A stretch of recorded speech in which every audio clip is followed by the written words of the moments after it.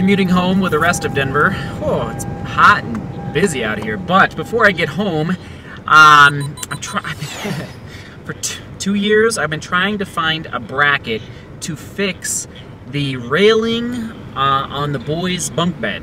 I cannot find a bracket. If I was a welder, I wish I had that skill and the tools. I could just I could make one pretty easily, but I don't have the tools for that. So I've been trying to find this bracket that I'm going to show you here in one second. Home Depot, boo, no help. I walk in and they're like, "What? You you want us to like stop what we're doing and like help you find?" Like it was, it's just sad. I don't Home Depot. Come on, I I don't despise your store, but I I just need a little help. So going to Ace. You know me and Ace. I love Ace. Smaller store, smaller hardware store. To give it a shot. See if the uh, see if the local shop can help. All right, here's the here's the bracket I'm trying to fix.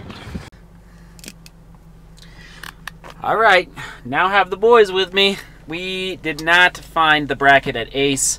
Not successful. Oh, man, we are running out of options. So this is basically the last ditch effort before um, throwing in the towel on the old railings. And then we're just to get new ones if this doesn't work. So we're going into Rockler Woodworking with the boys. Here we go. This is for you guys. Kind of heavy. No dice on the uh, Rockler. Man, Ace Hardware told me to come to them. So you uh, you swing three times and miss, Yeah. and you strike out. So we are gonna move on. So what what happened is we have two we have two railings with one bracket. So what I'm gonna do is take one of the brackets off the off the railing and put it on the other one, we're just gonna get rid of the other railing. No reason to keep it around. It's sad because it'd be nice to, uh, but I've looked everywhere and time is money, and I can't spend any more time trying to find brackets. So we'll just have one railing, and that'll be that. Uh, we went to the park for a little bit, but now, remember our new coffee maker? We thought it didn't require filters, but it does. So, anyway, we're just gonna. I uh, oh, a reusable basket filter. Oh, Papa, that might work. Papa, Papa, Papa. Yes. Um, No, silly. Question of the day. Question of the day. Hit me hit me hard here. Give me facts. How do you make your coffee in the morning? Do you use a French press? Do you use coffee filters? Do you use reusable coffee baskets? Do you use a Keurig machine, an espresso machine, Starbucks every morning? How do you make coffee? Question of the day. Co- This one. Just move it right over top of it. Good job. I'll put it. Let go. well,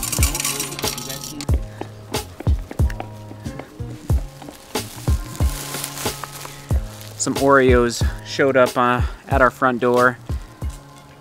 But I just want to make sure they're from our neighbor. You know what I mean. So the boys are running over to ask the neighbor to make sure, you know, they're just in a plastic baggie. It's like I'm trying to think ahead here, be proactive in saving the children. Not too shabby.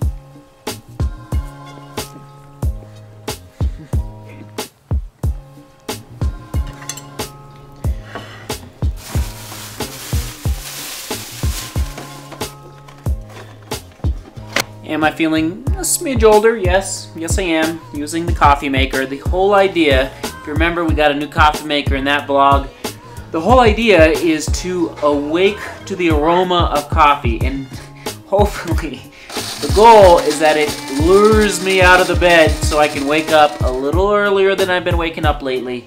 Um, I love coffee. My only concern with the coffee maker as opposed to the French press is the strength of the coffee because I like my coffee nice and black and nice and strong. So I'm gonna go a little little higher on the uh, coffee ground amounts and we'll see how it works in the morning when it starts. I think I'm gonna set it to begin brewing around 4 a.m.